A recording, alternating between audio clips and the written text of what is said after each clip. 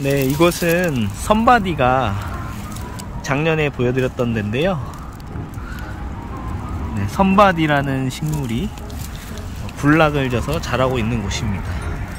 지금 소리가 들리시다시피 어, 도로 옆입니다. 그래서 조금 시끄러운데요. 네. 선바디 잎의 특징 삼출엽으로 시작해서 나오고 있고요. 네, 이게 어린 새순의 모습입니다. 어, 보시다시피 굴락이라서 어, 작년에 묵은 꽃대도 있고요. 지금 벌써 이만큼 자란 개체도 있어요. 네. 어, 양지 쪽이라서 그런지 어, 성장이 굉장히 빠른 것 같습니다. 네, 선바디라고 해서 원래는 섬에서 자라는 종이였는데 이제 내륙에서도 많이 자라고 있고요. 우연히 발견하게 된 곳인데 엄청난 굴락이더라고요 여기가 제가 지나가다가 차 타고 지나가다가 그때 꽃이 피었을 때 꽃대가 상당히 큰 편이어 가지고 사냥과 꽃들이 굉장히 많이 있어서 한번 와봤는데 선바디였습니다. 그래서 이제 발견한 곳인데 네, 작년에 나눔도 많이 했고요. 올해도 또 씨앗이 많이 생기면 제가 최종을 해서 어, 나눔을 할 예정입니다. 네, 선바디의 모습 보여드렸습니다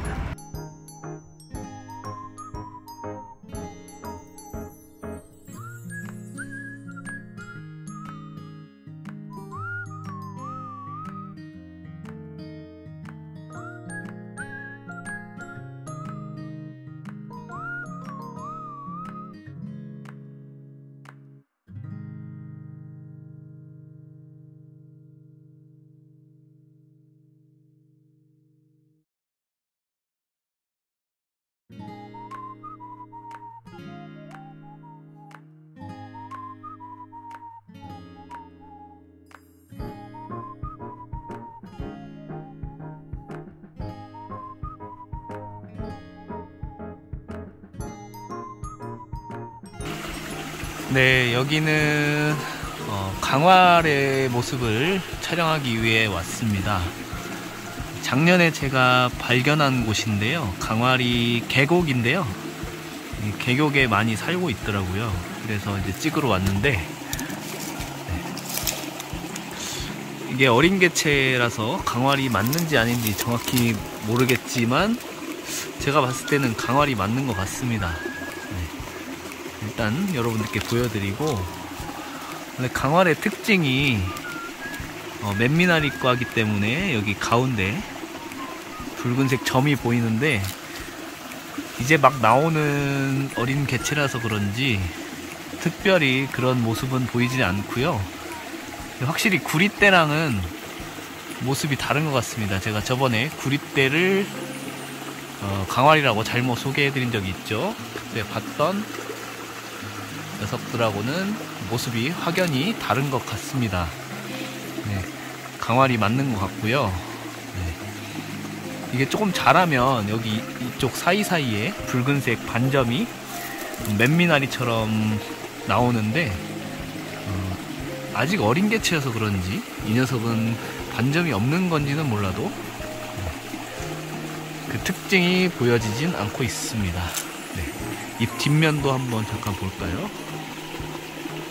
잎 뒷면의 모습이고요. 네, 형태로 봐서는 네, 사냥과가 확실합니다. 그리고 구릿대도 아니고요.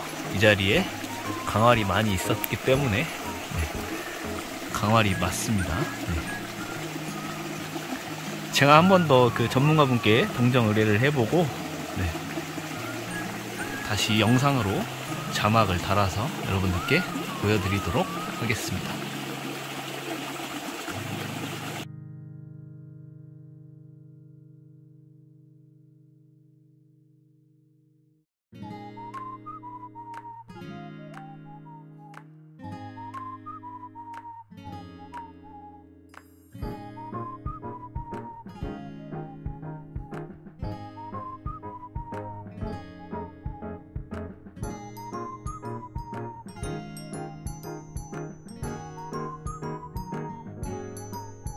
네, 여러분 강화를 찾으러 왔다가 요게 강화 같은데 요거는 아시겠죠?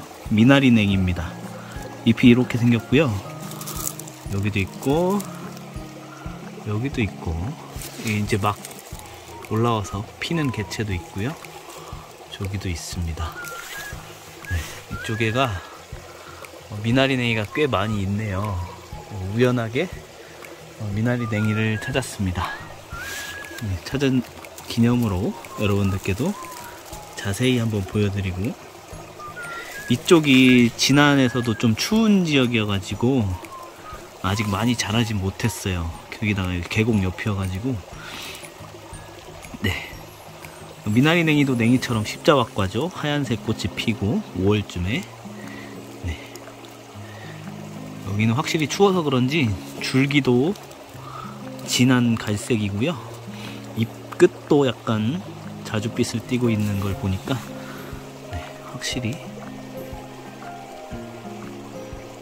많이 추운 지역답습니다. 어, 미나리 냉이의 모습 여러분께 보여드리고 어, 미나리 냉이는 생으로 먹으면 괜찮은데 익혀 먹으면 굉장히 쓰다고 들었습니다. 저도 먹어보진 않았는데요. 네, 여러분께 한번 보여드리려고 촬영을 했습니다. 네, 모습과 생김새, 형태 잘 봐주시면 좋을 것 같습니다. 네, 감사합니다. 네, 오늘은 찍을 게 좀 많네요. 네, 양지꽃하고 좀 비슷한데 다르죠? 잎이 하나, 둘, 셋, 넷, 다섯. 하나, 둘, 셋, 넷, 다섯. 네, 바로 가락지 나물입니다. 다섯 개여가지고 손가락 같다고 해서 가락지 나물. 네, 이것도 식용 가능하고요. 어, 이렇게 파릇파릇 올라오고 있습니다. 강가라서 그런지 강이 아니라 이제 계곡 작은 계곡가라서 그런지 이렇게 파릇파릇